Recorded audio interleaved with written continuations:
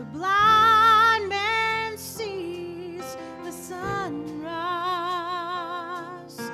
The lame man walks by the seashore. The deaf man hears the broken body healed, all because of the love.